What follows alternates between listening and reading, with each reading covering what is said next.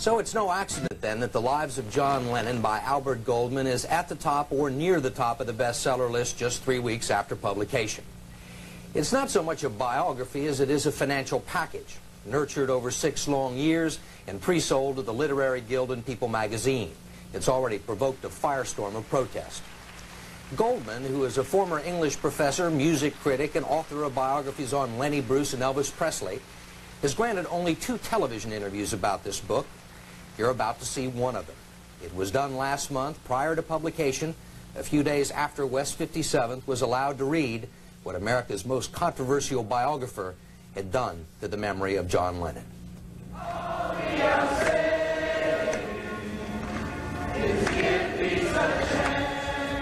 WRIF will now observe 10 minutes of silence in memory of John Lennon. Born October 9th, 1940, died December 8th, 1980. He told about people's souls.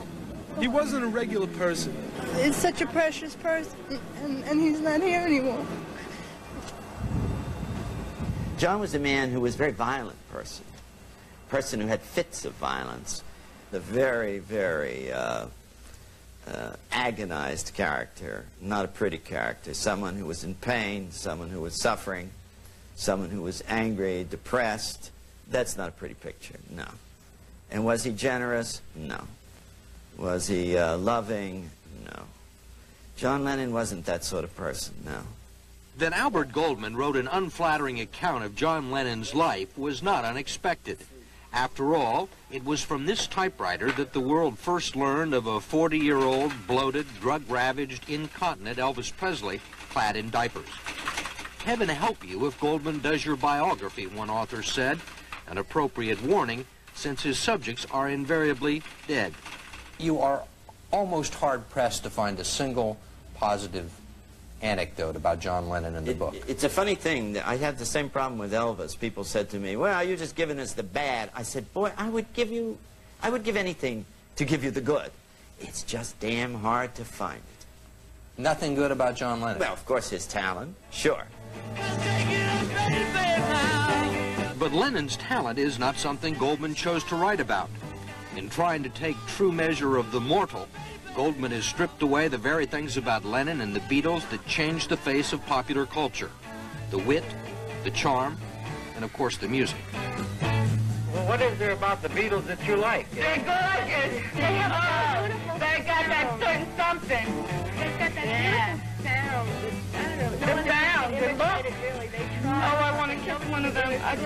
My arms around them. And here they are. Surprise of the crowd grows, pitch volume, drowning out the whine of the jet engine. According to Albert Goldman, the John Lennon that came to America in 1964 was a coarse, violent street fighter who may have once actually killed a man. A smoldering hitter, Goldman calls him, who sometimes erupted into a terrifying werewolf. Within a year, Lennon would find fame a disappointing mountain, a view not worth the climb. Not even the drugs and orgies were much fun, according to Goldman. It was a trail that led eventually to despair. John Lennon, man of peace and love, is almost non-existent in Albert Goldman's book, appearing only as the public pose of a charlatan. Instead, Goldman's Lennon is a demented burnout case so cooked on acid that he believes from time to time he's the Messiah. And later, with Yoko Ono, depraved, depressed heroin addict, a paranoid, anorexic, Howard Hughes-like recluse who ate with his fingers, walked around the apartment nude, being mean to the cat. But eight years ago, Albert Goldman didn't feel that way. John was a very conscious and self-conscious man who uh, knew exactly what he was doing and yet had very profound intuitions and hunches he followed. Confused? That was Albert Goldman the day after John Lennon was murdered, before he signed the book contract, in eulogy. Brilliant man, a genius. This, the skeptics would say, is business. But then I investigated and investigated endlessly. 1,200 interviews, six and a half years research.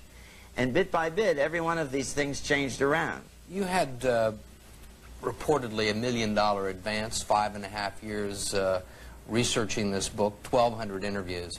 Well, we didn't get a million dollar advance. You know, that's if you heard that, that's wrong. It was 850. When you say 850, we're talking about not $850. We're talking about 850. 850,000, right. This was not some kind of blood money. You say, well, here's a pile of money. Go out and do a, go out and do a dirty job. That's not what this was. He was going to write the biography of John Lennon. And that's what we got.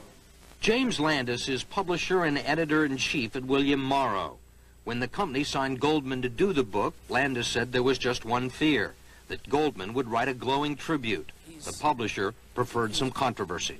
It was so tempting. I mean, you have to. Albert Goldman is is a fantastic commentator on modern culture, and John Lennon is a giant in this culture. And it was an irresistible combination of things. You expected a certain amount of flack. Yes, sure. Uh, you must love it. I like it. It's all right. Sells books. Well, it gets people talking about, certainly gets them talking about books or this book in particular. If there had been, if silence greeted the publication of this book, it would be vastly disappointing in many ways. Uh, especially at the, at the cash register, right? Well, we've had certain books that have been greeted with silence, and they've sold quite well, but uh, um, it would have been it would have been disappointing. That much time, that much effort, that much money on the line, there are expectations that you're going to find something that other people just didn't know. I think that's a safe expectation with me because I'm one of the best investigative reporters, I think, in the world today. I mean, I always discover something new, whether it's the death of Bruce Lee or drugs in South America, or I come back with the story. That's my reputation. That's what I'm proud of. That's what I'm motivated by. What did you come back with this time? Well, what I are think the things that are going to be in the newspaper that we're going to see in the newspaper? Well, first of all, there's the marriage of John and Yoko, which is going to look a lot different than people saw it traditionally. She was the one they were trying to make the star, not he. how is your John Lennon different from the other John Lennons that have been written about in these books? I mean, my book is a lot bigger in every dimension. In other words, I have the full length of his life. I have the full breadth, all the background, all the other people. What about Paul McCartney? Did you talk to Paul McCartney? Well, Paul said, well, I loved Albert's book on Lenny Bruce, but I didn't like what he did to Elvis, and I don't want to cooperate. So that was it. and you didn't talk to Harrison or Ringo Starr? No. Harrison's like a hermit. And Ringo's under contract to do his book. And Yoko Ono? Yoko Ono under contract likewise. It, it must be very difficult to do the definitive John Lennon book without talking to Paul McCartney, George Harrison, Ringo Starr, Yoko Ono. You have to remember that sources are only as good as they are willing to be forthcoming and frank. A lot of the stuff that's in the book were pretty well known. I mean, certainly Yoko, an awful lot has been written about Yoko's influence over John. Uh, there have been things written about his drug habit. Those are all incidents that have been mentioned in other books. Perhaps, I don't know. I mean, what's your question?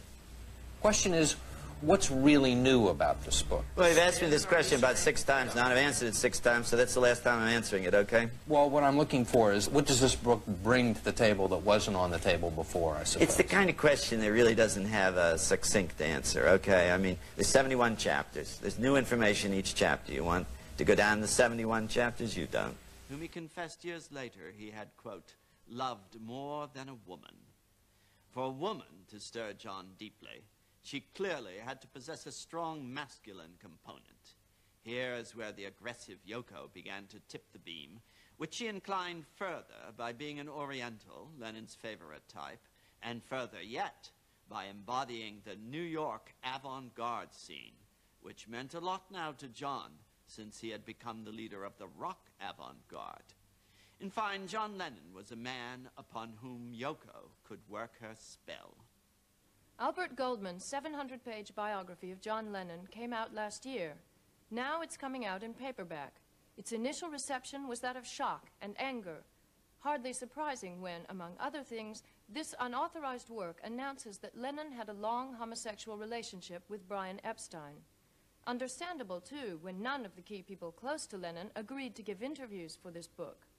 After his controversial biography of Elvis Presley, no one expected the book to be entirely complimentary about its subject.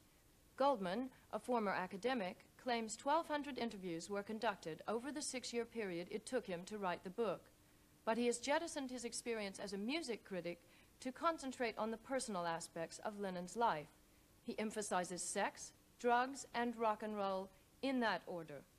In many ways, this is an expansive book. It's large in size and large in claims.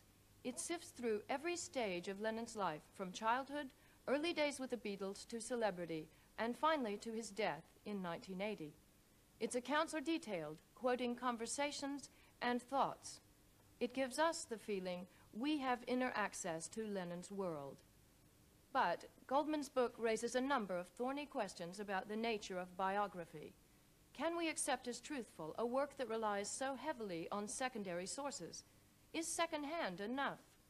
How biased can a biographer be before his work degenerates into a personal statement? Goldman, for instance, seems to feel the wrong Lenin was shot. And what is the real job of a biographer? To dutifully log someone's life? Or to create a color piece that will also be a compelling read? With Albert Goldman in the studio is Hunter Davies. Davies is the only person ever to have had full access to the Beatles, and he wrote the authorized Beatles biography in 1968. Even Goldman credits the book in his sources as indispensable for any writer on the subject. Albert Goldman, you weren't able to use primary sources, and many of your secondary sources weren't exactly best friends of the Lennons. You had to decide who to trust. Explain to me why we should trust you in the decisions you took. Well, I dispute the notion of a secondary and primary source as you define it. As, a, you as a define it? biographer defines it, a primary source is someone who had a direct experience of John Lennon. Paul McCartney had no direct experience of John Lennon for years and years at the end of John Lennon's life. I spoke with people who worked with John Lennon, spoke to him every day of his life, were visitors in his house every day of his life.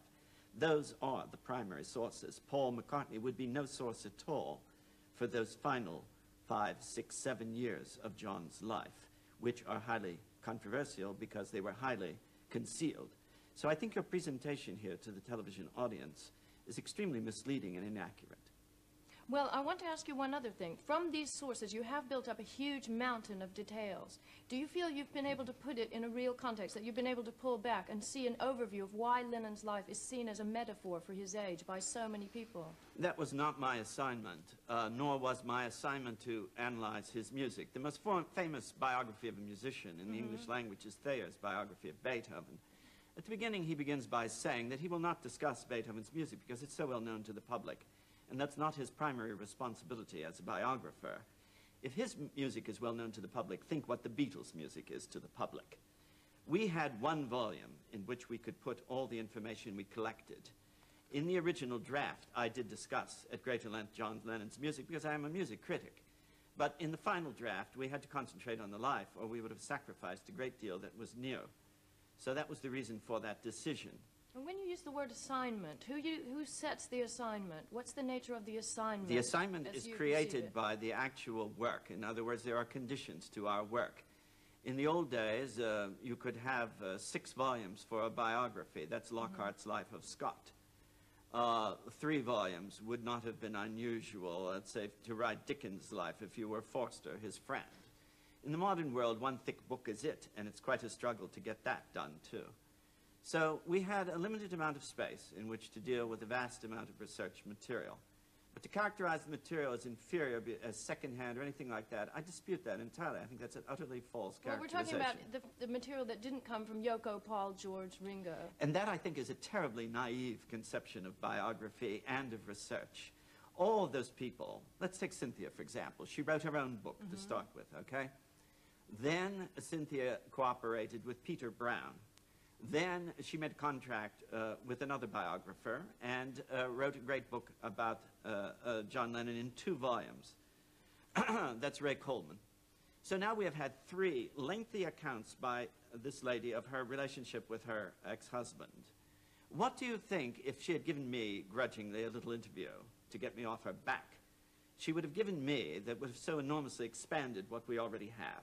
What do you think, supposing Paul had accommodated me with a half hour of his busy life, would have been so forthcoming there that would have revolutionized the view of Lennon? Well, let's now, ask, that let's isn't ask how it's Hunter. done. Hunter, you, you did have access. You handled the first half of this story, And you did speak to these people. How do you feel about the way Albert handled the second half of the story? Well, uh, you've got to remember that everybody's entitled to write a biography. You don't have to pass an exam. And it's also true that once people's dead, that's a good time to do it. And it's free time to do it. People can't sue. Nothing wrong with that. Nothing wrong with doing a dead person. And also, things should be done regularly because you see things more clearly after an event is over. And I was doing it 20 years ago. It was in the middle of it. Yes, I was really definitely. reporting what they were saying and getting their memories and getting experiences as they were happening. I didn't know the end, so I feel envious of Mr. Goldman, Professor Goldman, that he could stand back and see all the material. All this, let's not argue with the use of the word primary and secondary, all this amazing amount of material. Well, since you brought up that, it does have very much the style of a novel. You're, you're making us privy to how people felt when they did something or the actions they took. She reached up and picked up this. Now, what made you take on that sort of style? What determined the style? well, this is not the first biography I've written. Yes. And uh, all my life I've been a student of biography. it seems to me all biography aspires to be eyewitness biography. So I speak to eyewitnesses. I speak to them over and over again.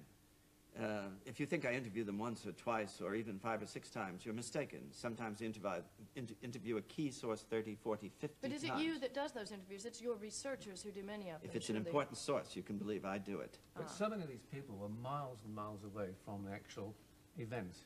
I mean, you have in early in the book, you have people who are babysitters who observed John Lennon's nappies. That was the sort of level of it, and you draw conclusions from these people. The bit I laughed aloud at was this woman you'd interviewed, or one of your research interviewed, who was a neighbour. uh, all the woman is called to evidence is the fact that the next door neighbor, who is surely some sort of A- witness to the people who lived, next who door lived to, next door to her. Well, there's only one 10,000 you neighbor in a, in a house that's a double house with a common wall. There's only one such neighbor. And she does have a relationship with these people because you can't help but have such a relationship if you're living in the same building as they were. And what she said was that um, these were people who were looked at askance, that they were unfriendly, and so forth.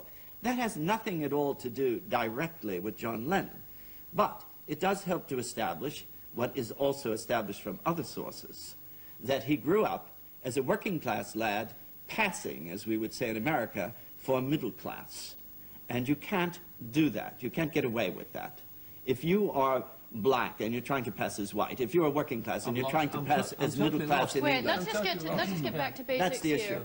What seems to be coming out of this is that it's very difficult when a figure is as big as John Lennon or indeed mm-hmm. Elvis Presley to actually establish any objective truth. Is that what another instance No, of I don't something find that that- caused I you to don't use a find that an novelistic issue at style? all. Why did you carry on when nobody would see you?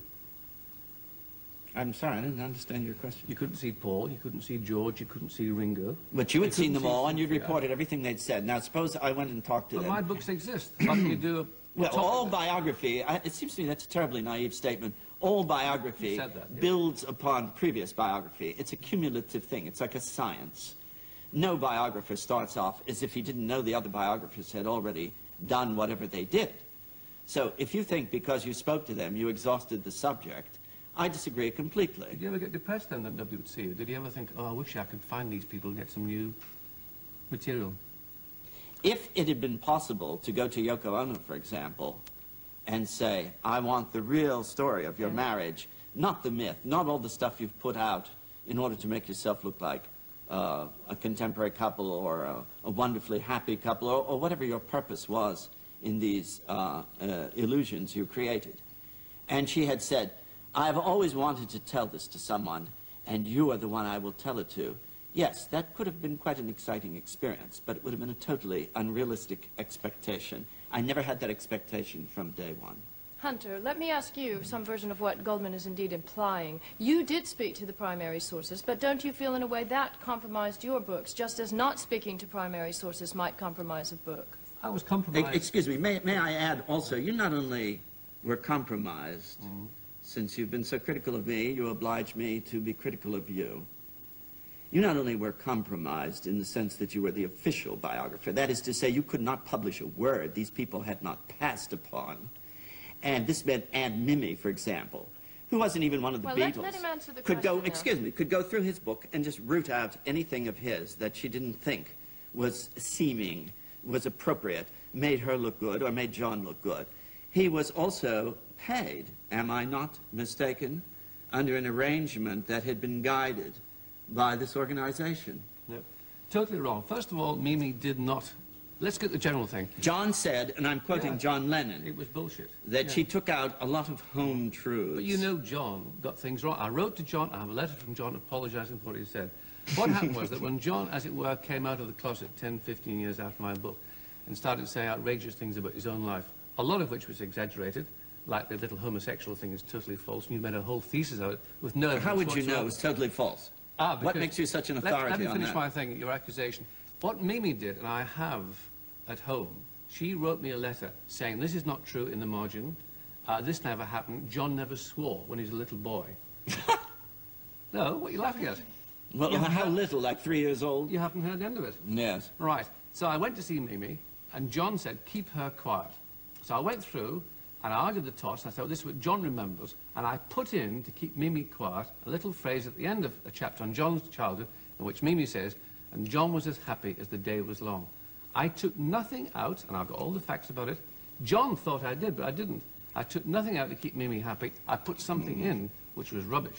The rubbish statement was, John, but, that was true I think you're missing the point. he- I think you're missing the point. The point is you simply... made this allegation, and I took everything I think you're else. missing the point. The point is that in John Lennon's eyes, you didn't tell the story of his childhood, and I don't think you did. Oh, well, who can do that? You I think certainly I think I came a lot closer. No. I restored I restored I the missing we're man, his proving- father. I think we're proving I that biography. the father. You never met the father. I think we're proving that biography is an inexact science here.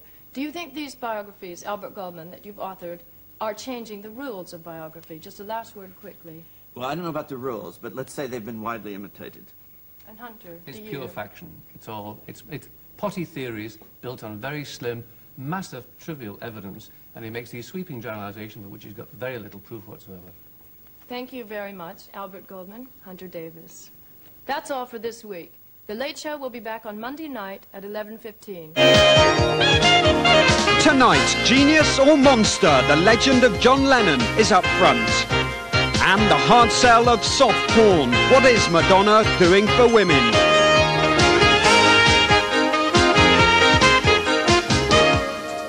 Please welcome your presenters, Lucy Meacock and Anthony Wilson.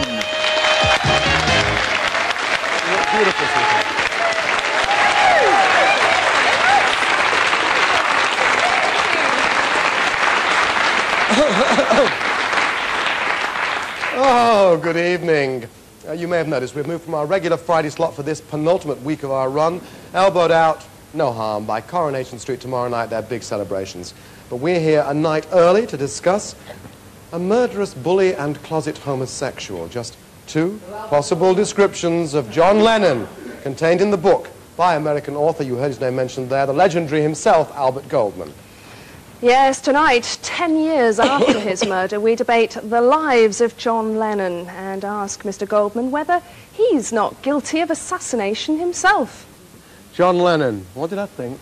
I enjoyed the book enormously. John Lennon. Um, yes, I did enjoy the book. The Lives of John Lennon by Albert Goldman was the most uh, explosive uh, rockumentary of the 80s. It made an effort, perhaps, to tell the Lennon story. It may have destroyed some memories. In the next 20 minutes, we ask, what are we remembering? Alan Williams, the first Beatles manager.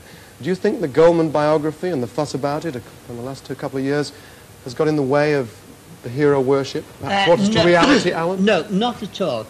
Uh, in actual fact, if he had been more honest in his book about John Lennon, it would have been a bestseller. As I'm told now, it's a flopperoo.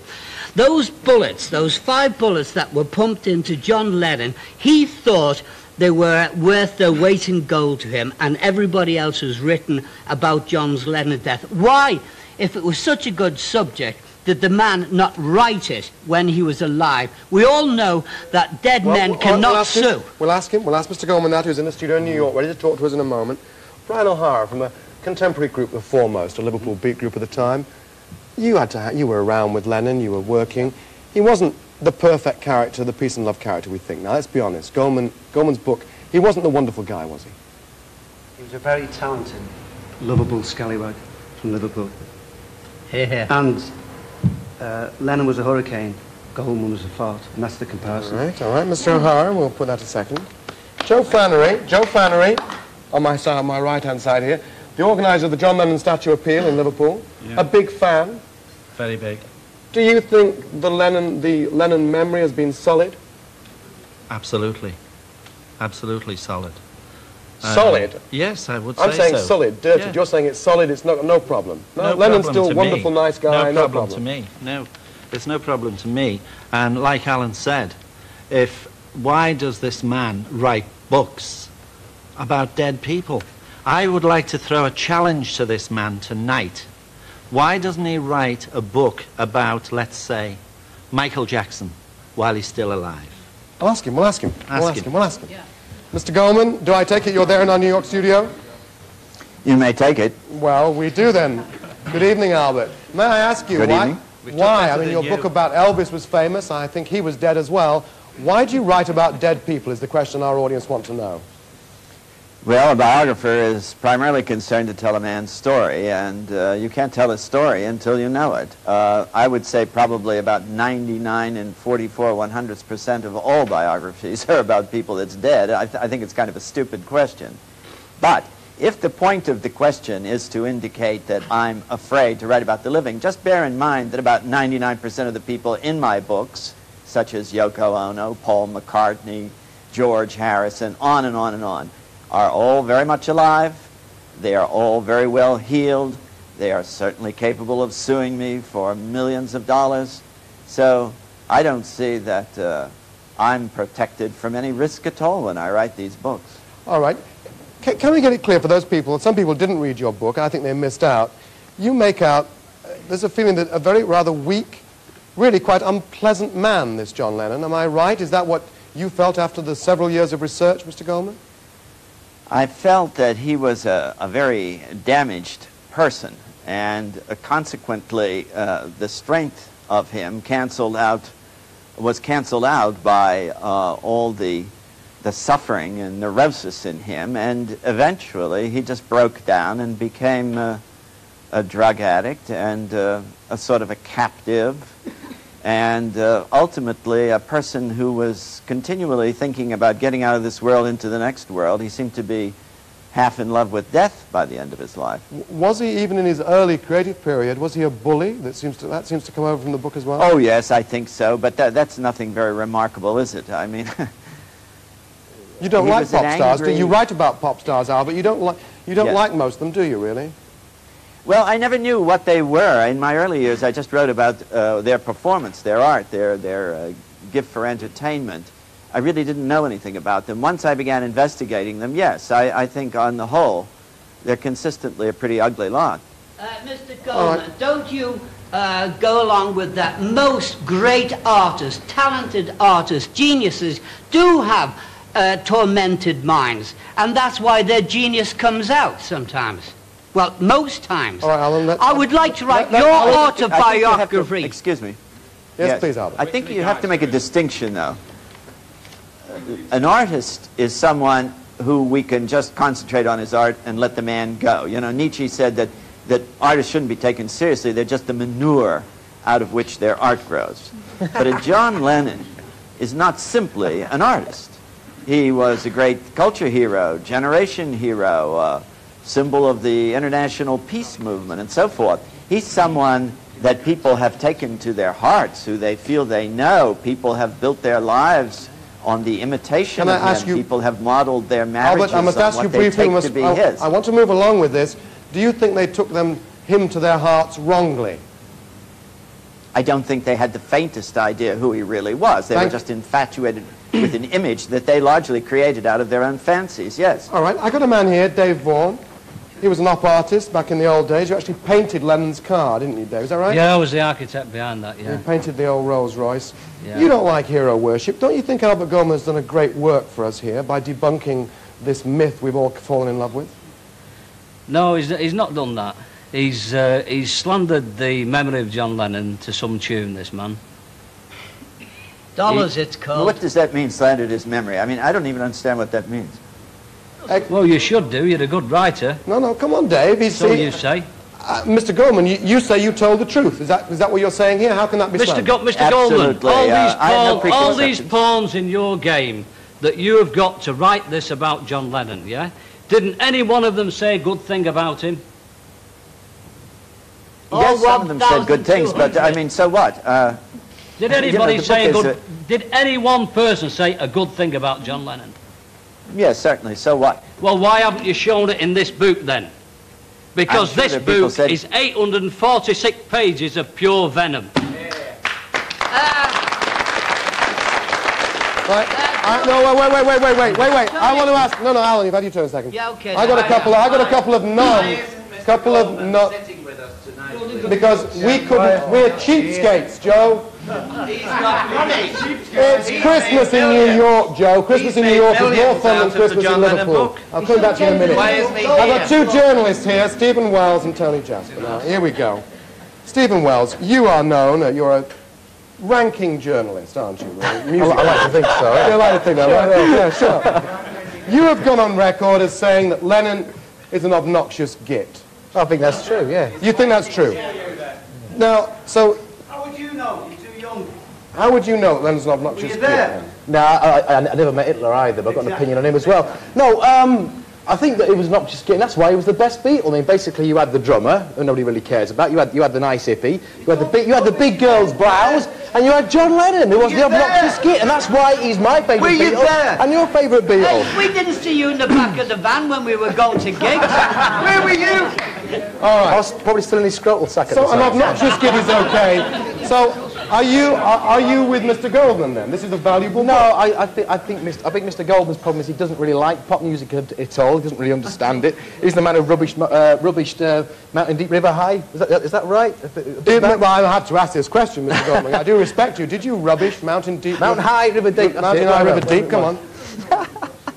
He's laughing. He's laughing, Stephen. He Got wrong. Anyway, yeah, never, never, Anyway. never titles. But basically, I think I think he's a vulture, right? But if, if, the, if the didn't keep digging the corpse up, he would have nothing to feed on in the first place. You all bought the book. There's no corpse. Uh, Brian O'Hara, Brian, please. There isn't any corpse about. Switch your radio on. Every 11 seconds, day and night, throughout the world, is a Beatle or Lennon. Well, tell us about it, I know. still- It's still there. There's nothing to look back It's at. in baby boomer It's still there. I know that. And all that guy does is get a pen and a Ouija board and write about dead people, and that's it. He his only research. He should have been in Leningrad with me three weeks ago. 10,000 people a tribute to John Lennon. What about that fart, golden All right, fart? all there? right, Alan, all right, all right. Tony, Can I make the point? I want to make no, no. I want to put Stephen Wells's point to Albert Goldman. That it is precisely because he was so outrageous, in some cases unpleasant, in some cases peculiar, that made him the most attractive star of the 60s. Mr. Goldman. Oh, absolutely. Uh, it was the hostile or tough side of him that cut through a lot of the crap of, uh, of pop music and appealed to us, precisely. All right. Well, we have that some was the good side of him. So, some agreement. Uh, hold on, Albert. Hold on a second. The man here. Yes, sir. Yeah. Can I just ask Mr. Goldman what was his actual purpose for writing the book in the first place? Was it money? Albert, Albert, can you hear that? What was the purpose, the deep purpose? Well, I don't. That's a kind of simplistic question. The purpose. I don't You're think just a a second-rate biographer writer ever who has just needed the money. purpose. What's wrong with that? Basically, when you write a biography, uh, Quiet. Let Mr. Goldman reply, please. Go on, you know, Albert. your your your panelists or whatever you call these people, they, they seem very intent on interviewing themselves. I don't know why they need me. And you're They patronising well. They, they, Albert, they, they seem to have all made if up I wasn't minds. shutting them up and coming back to the New York feed, Albert, they probably would be talking to themselves, don't worry. Tony Jasper, can, you, your opinion now of the whole, the, the Lennon business. Don't you think, whose side are you on? As you watch Mr. Goldman there and you watch the Lennon fans, where do you stand on this? I kind of think maybe the Lennon fans here would have invented something like Lennon, even if he didn't exist. I mean, to me, Lennon was a great rock and roll singer. But why do people want to say other things about him? And I want to know, too, why, for instance, some of the audience would say to some words I read which Lennon said in 1971. He said, if I had my life again, I would like to have been born in New York. I would like to have been an American. Why did he say that? What's that got to do with Goldman? It's got to do with the fact, right, that Liverpudlians don't half love Lennon, and Lennon did very little for Liverpool. That's right. He put our Fine, name fine. on the map He all put your- over the world. have you got us here tonight? Fine. Well, no, good question. You've Mr. McGann. I want to come to Mr. Mr. McGann played Lennon at the Empire, a brilliant performance. I saw it myself. Mark McGann, what have you got to say to us about all this? You've listened to all this stuff. Go on. I think with, for fear of, of upsetting a few of my partisan friends in here, I think I'd like to say that I've, I've, I haven't read the whole book. I've read snatches of the book. And what it, appears to me that Mr. Goldman is obviously a very accomplished writer. I think you undermine your skill somewhat by opting for a, a sensationalist, journalistic style, especially in the manipulating way. I mean, when you call Yoko, for instance, a, a skilled general, that's very pointed, it's very manipulative. I think you can be as factual. I enjoyed the book. I think it was fact. I think there was plenty in there which was informative, and for that reason I enjoyed reading it, for fear of upsetting a few people here. But I think your choice, your, your, the manipulation of the book is what is under qu- scrutiny and question here tonight, and I think that's unfair. Would you say you manipulated it all? Made it sound very Uh, groovy? When you write it, when you write lives that are like the lives in soap operas, it very often just comes out that way. Exactly, it's sensationalist. It's like a soap opera.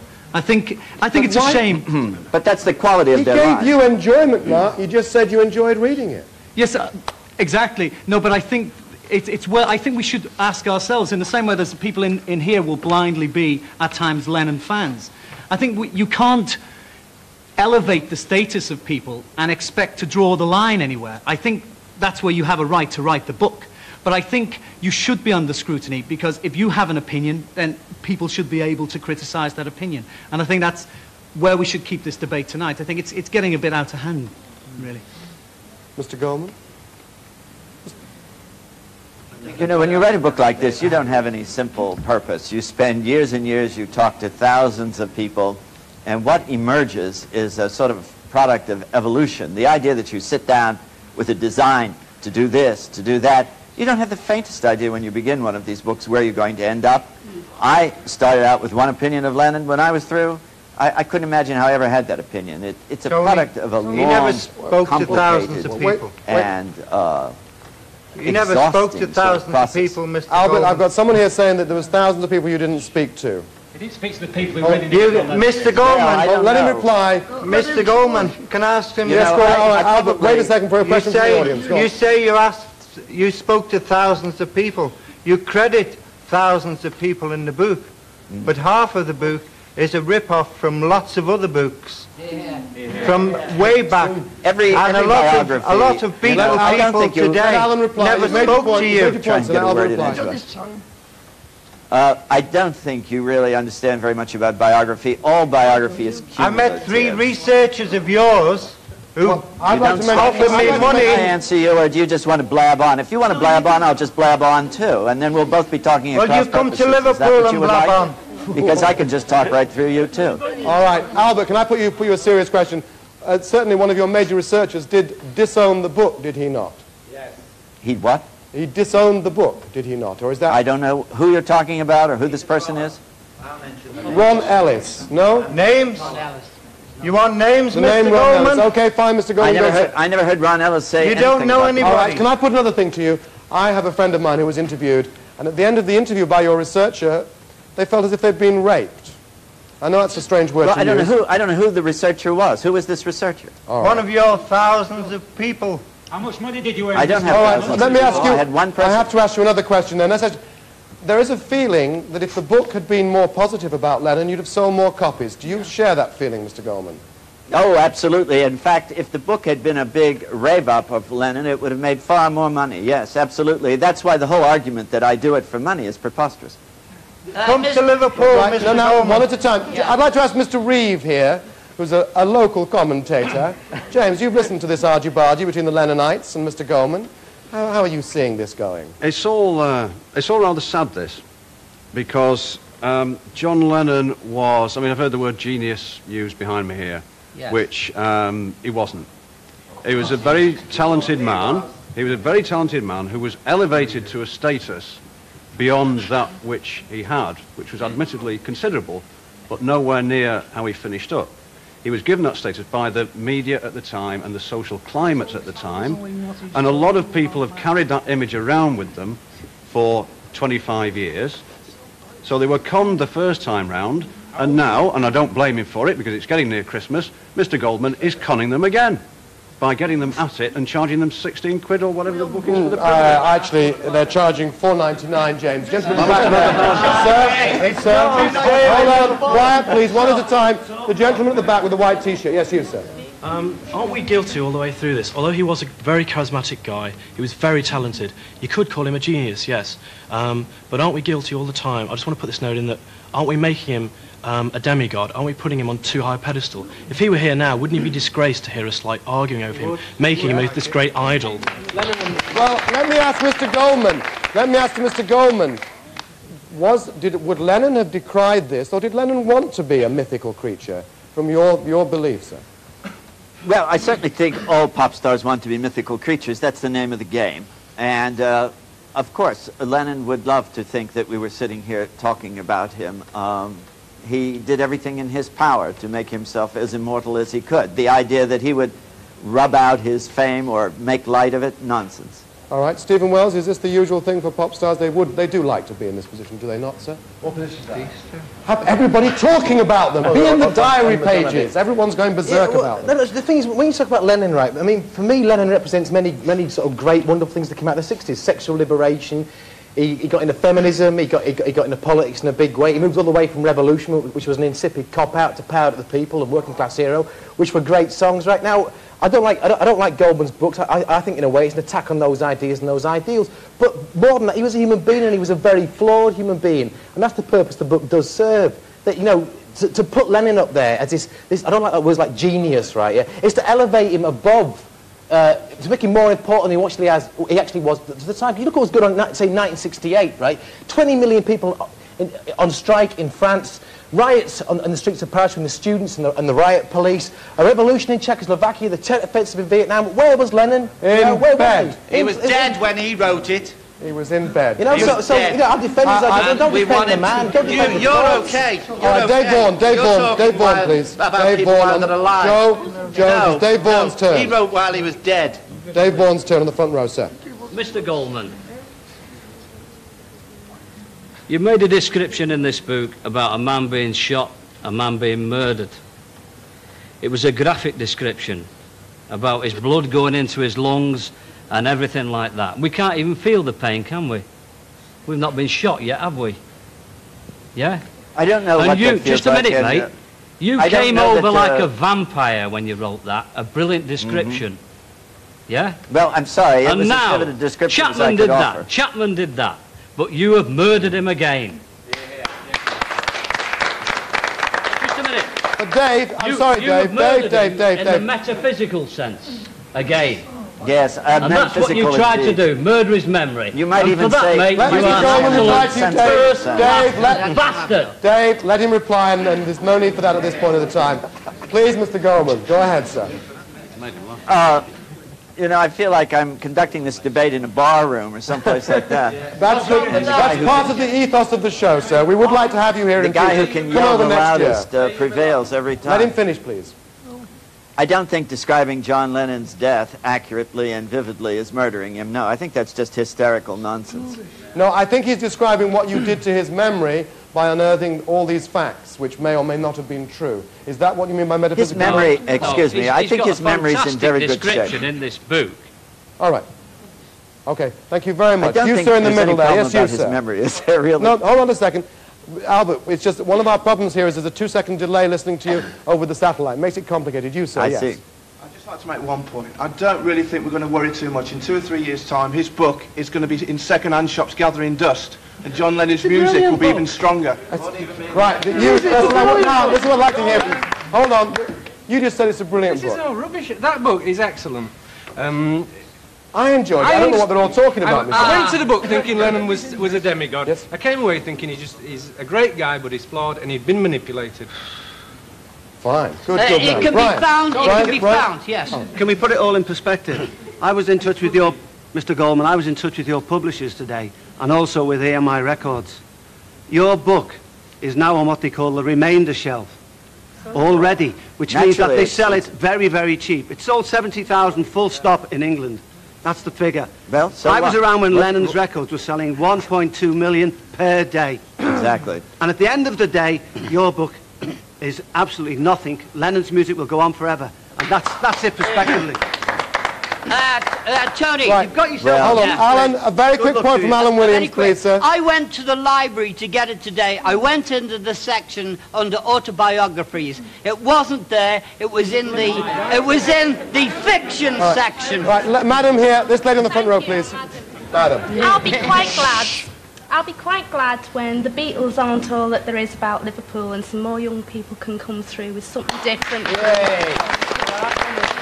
I'd like to ask Mr. Goldman, actually, as someone who's looked at all this, what do you think the Beatles and Lennon in particular did for Liverpool?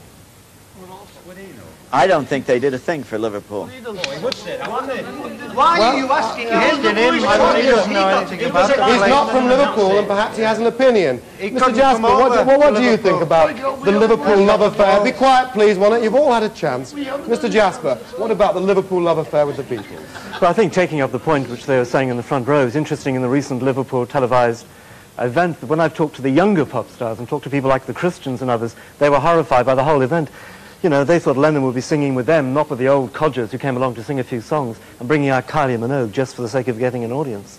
And I believe, I mean, perhaps Liverpool people could tell me, isn't there a big debt still owing from that concert in the That was a city? Yoko Ono promotion, nothing to do with Lennon's music. That was Yoko Liverpool Ono. City, Liverpool City Council supported it. Liverpool wanted to tell the world it was their concert. Liverpool want people to come to Liverpool. It was Yeah, but they're promoted by councillors. It was promoted by a London firm. That's Liverpool Council for There you. is it, right.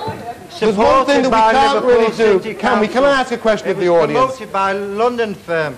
Did not, in this last minute, a quick comment. Was not the M- Lennon memory sullied by Yoko Ono? Is not the Yoko Ono part of this book, for those who have read it, one of the most difficult parts? Do we all, do all we who love Lennon love Yoko, sir? No. I think there's a little little point that hasn't been made. Is it not possible to be a murderous homosexual and a genius? What's wrong with being homosexual? And there's nothing wrong- Are we talking about Albert Goldman again?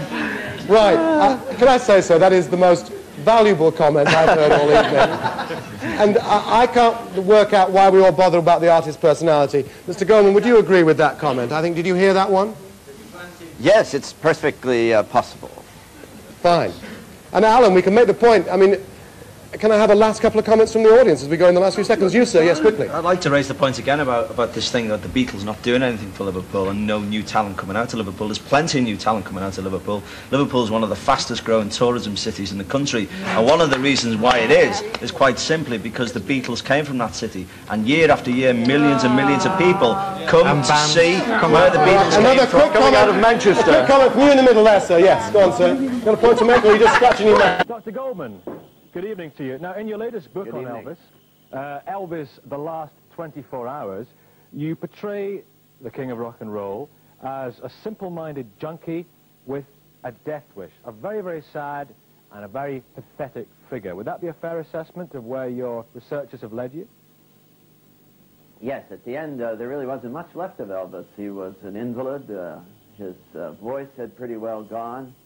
He dreaded the thought of confronting the public again, particularly because there had been a book published that exposed all his uh, antisocial habits, his uh, use of guns and other dangerous weapons, his rages, his senseless behavior, and particularly his drug addiction.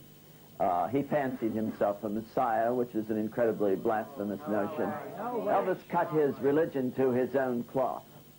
Edwin Starr. I can't, I can't believe that he can sit there and say things like that. I mean, it's a contradiction in fact in what he's saying.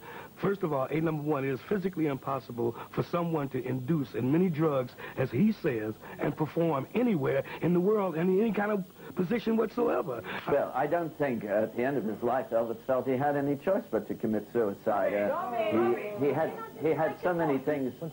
he had so many adverse conditions. Norman, you have uh, written books, of course. We've got a book out at the moment about Elton John. You've written a very good book, Shout, about the Beatles. You've uh, done a book on the Rolling Stones. What do you think about the work of your fellow biographer, your partner in... Albert Goldman is probably the only biographer in history whose books one can read and think that nothing in them is right. It's a, a miracle that he manages to spell the name John Lennon right. Because idiotic, malevolent mistakes that crowd these pages. The general effect is not of learning about a person, but being run over by a convoy of manure trucks. to read an Albert Goldman book. It's, it's, it's, the true half-wit is writing a book here, a book that contradicts itself page by page. in his, pic, in his uh, book about Lennon, on one page Lennon is afraid of Yoko, on the next page is trying to murder her. On one page he's a recluse, the next page he's going around the world. On one page he never sees anybody, the next page he's seeing is 30, 30 staff retinue. Albert Goldman thinks that Love Me Do, the Beatles' first record, was a 78 RPM record. Albert Goldman I don't think thinks that. I made a little that mistake. the British You police... know, I don't really, I'm really not on this Albert program to Goldman- listen to a fellow Albert author Goldman denounce is a- me, is a so it professional- doesn't interest me at all to He's humping listen to this. the corpse. And I intend to He speak humps the right through the corpse of balance of dead this denunciation. Okay, okay. We will now have a one little second, shouting please, one at contest, a shall time. We we? must have some order here. Dr. And Goldman this has every spurious- right. Dr. spurious Goldman. doctorate. It's a doctorate in writing broken I have no back, stupid intention of sentences. listening to a rival author denounce me, and I will just continue to talk right through this denunciation. All right. Dr. Goldman, I want to ask you a question. Is it not the case that a lot of your book is supposition and it's not based on facts? No, it's all based on very well-researched facts. And if any of my books, may I add this, if any of my books were really based on supposition, if they were false, if they libeled someone, these people, 90% of them are alive, like Yoko Ono. They are in a position to sue me, collect huge damages from me and from my publisher. As a matter of fact, no one has ever brought suit in all these years. How can, So, one second. what- why- One why second. haven't they? One second, right, Dr. Goldman, how can you really get to the heart of a subject if, in Elvis Presley's case, for example, you didn't speak to his wife, Priscilla Presley, his ex-wife, you didn't speak to Yoko Ono, you didn't speak to Cynthia Lennon, so you don't really have the full picture, do you? That is a rather nonsensical proposition. Uh, What I find totally spurious is this ridiculous idea that you've tacked on that he committed suicide merely to resell chapter one of your tedious, No, he's- dull book from 10 years ago. What we've got now is a, a very small, cheap and nasty book with very big words in it for No, people that don't read very often. And your, and, and your only reason for recycling this garbage is that you've suddenly decided 10 years later that he probably committed suicide. You're a charlatan, sir. Admit it. The only person you're serving is your bank manager. Right, Dr. Goldman. Uh, you know, I really didn't come on this show to be denounced by people who either are rival authors or people who don't have any identity at all. They get up out of nowhere and start denouncing me. If someone wants to ask me an intelligent question, I'm happy to answer. If they simply want to abuse me, I will do what I did to the last gentleman who abused me. I will simply continue to talk right through your denunciation. No, is it not the? Please, is it not the case? We... I must have some control here. Listen, Tony Prince is one of the few British disc jockeys. Tony Prince is one of the few British disc jockeys who ever met Elvis Presley. I think uh, the royal ruler from the golden days of Radio Luxembourg, Tony, we've actually got a photograph of you with Elvis Presley here. Now, there's the Elvis Presley that Dr... Oh, silence, I don't believe it. Does the Elvis Presley that Dr. Goldman writes about in anywhere, in any way square with the Elvis Presley that you know and love? I, I, I can't relate to the man I met. I met Elvis on two occasions in 72 and 73, and I've been very close to him for many years as president of his fan club.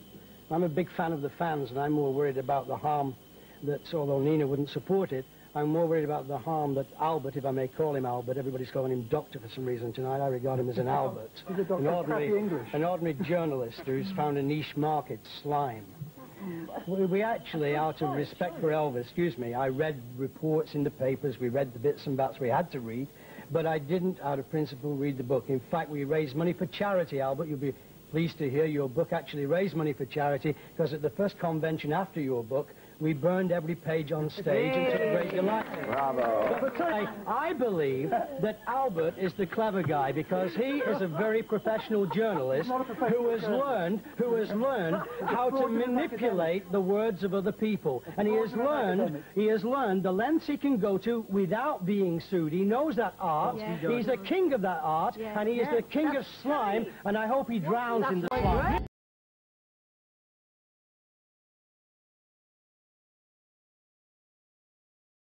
The face in the mirror won't stop.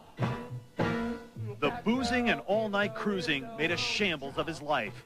Controversial author Albert Goldman investigated Morrison's mysterious death and blamed it on a lethal mixture of booze and heroin. He was often involved in violence and accidents, cracking up his car, stuff like that. He was the most extremely self-destructive person. In fact, my sense of him is that he aimed to live a short but extremely interesting life. Self.